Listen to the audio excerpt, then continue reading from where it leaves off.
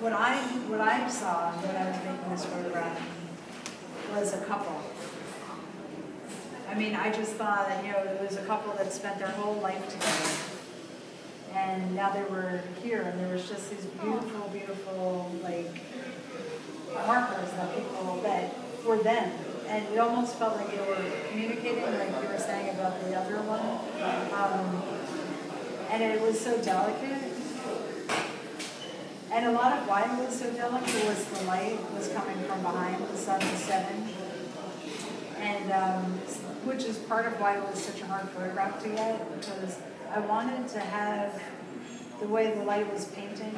You know, a lot of why these, this looks like it does is the light was like literally painting the edges on all the branches.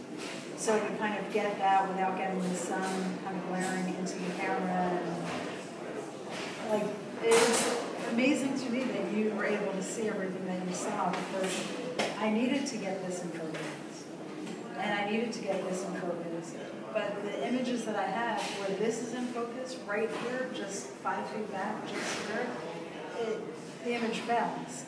So it was so important for me to get the background not to compete with the foreground and the light to kind of do this magical thing without also destroying the photograph um, and get, getting the exposure right. So it really was, and also the richness, there was like a kind of richness to the earth. Um, and I, I was amazed by the color of salmon, right? I was like, oh my God, that salmon is just so in different, different um, variations. And the, you know, like the flag over here where there's black trim sewn on, and there's a flag here with They're just so um, ethereal and so there's so much care.